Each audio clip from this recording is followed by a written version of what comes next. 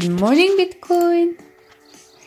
네, 여러분 안녕하세요. 4월 16일 화요일입니다. 저는 블록미디어 심지은입니다. 자, 오늘은 코인360 홈페이지 붉은 기 띄면서 시작을 합니다. 자, 오르고 있는 거 비트코인 캐시밖에 없어요. 상위권 암호화폐 중에서는 비트코인 캐시를 제외하고 오르는 종목 없고요. 오른쪽으로 가보셔도 뭐 중간중간 녹색 불이 켜져 있습니다만 전반적인 분위기 붉은기 띄면서 오늘은 하락세라고 표현해도 무리가 없는 그런 날입니다. 코인 마켓캡을 통해 확인해본 시장 가치 1716억 달러, 비트코인 점유율 52%입니다.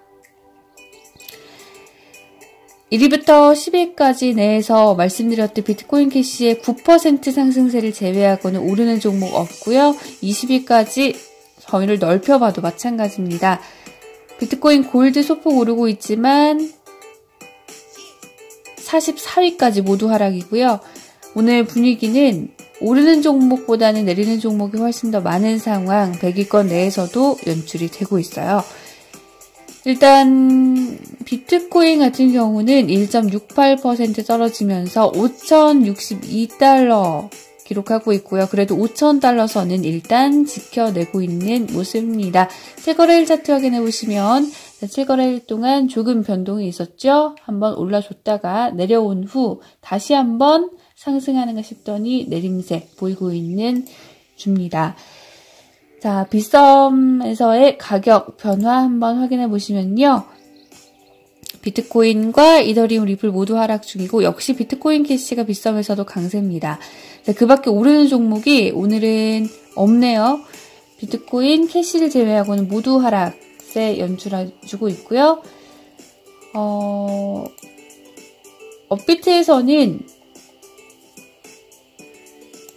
원래 점검이 예정돼 있었는데 일단은 오늘 새벽으로 연기가 된 상황이고 비트코인 캐시를 제외하고 그리고 메탈을 제외하고는 업비트에서도 딱히 오르는 종목 없는 상황입니다.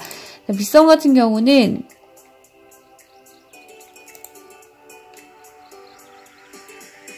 공지사항을 좀 확인을 해볼게요.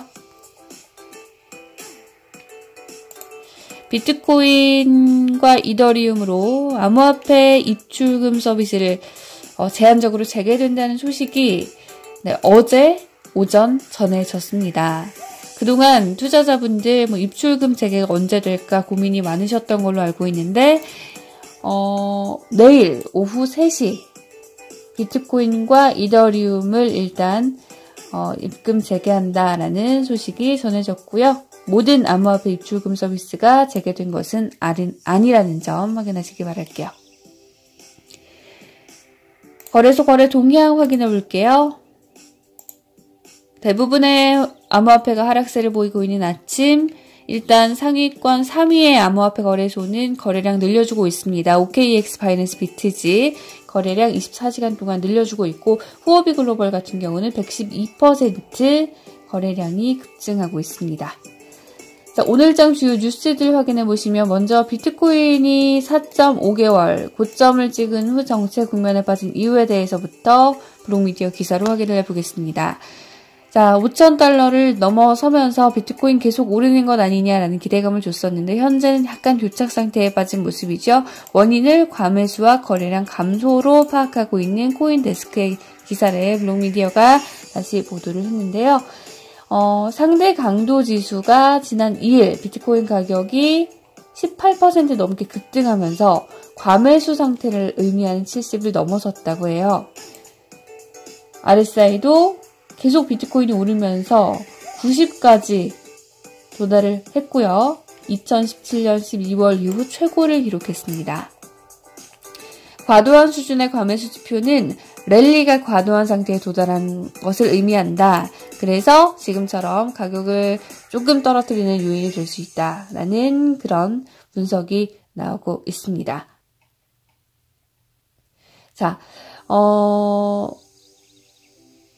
종종 금융시장에서 자, 지지선으로 바뀐 이전의 저항선을 다시 한번 방문할 수 있다. 그 선을 다시 한번 기록할 수 있다. 그러면서 앞으로 가격을 상승으로 이끄는데 조금 다지기, 어, 펀더멘트를 확인하는 그런 경우가 종종 있는데 지금이 그런 경우에 해당되는 것 같다라고 분석을 하기도 했다고 합니다.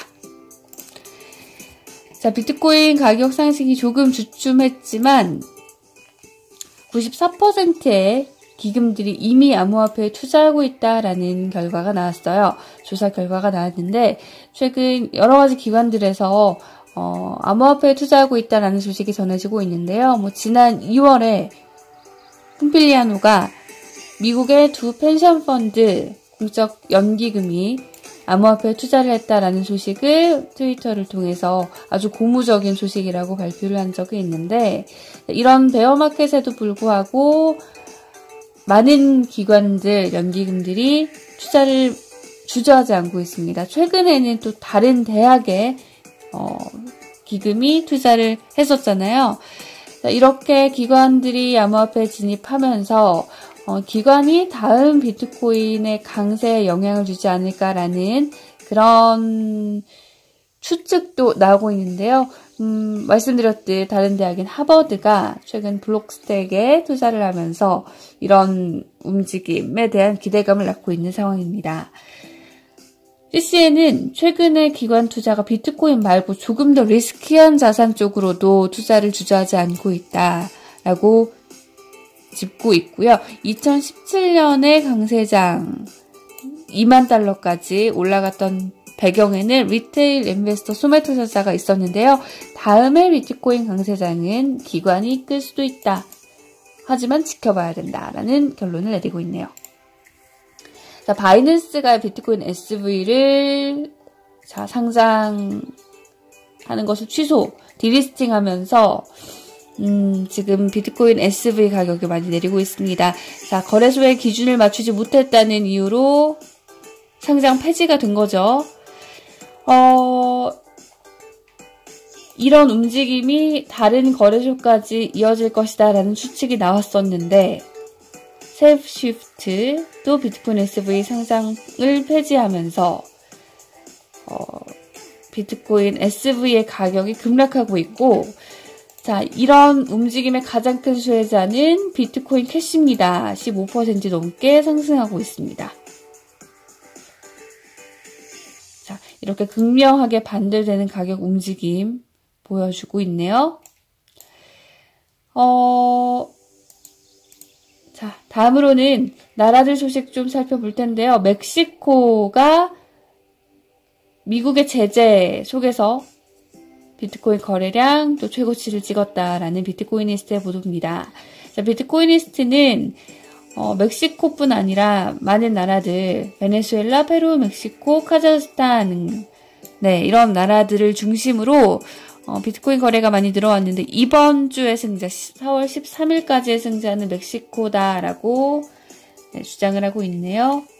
어, 56만 8천 달러 가치의 거래가 이뤄졌다고 합니다.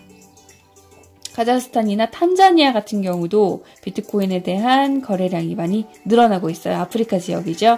이렇게 제재가 있는 나라들 또 음, 적절한 금융수단이 없는 나라들을 위주로 비트코인 거래가 늘고 있다라는 소식 비트코이니스트를 통해 전해졌고요. 자, 북한 이야기가 나와 있는데 어, 북한의 암호화폐 관련 보고서가 나왔다고 해요. 자, 북한 같은 경우는 그런데요. 이 루시라는 이 보고서에서 지적하고 있듯이 어, 사실은 정확한 데이터가 없습니다. 데이터가 없기 때문에 likely라는 말이 붙을 수밖에 없어요. 여러 가지 경제 지표들도 사실 정확하게 측정이 안 되는 상황이기 때문에 현재로서는 아직까지는 정확하게 판단할 수 없지만 앞으로 북한의 암호화폐에 대한 위협이 있을 수 있다라는 경고 수준으로 이 보고서는 요약을 하고 있습니다.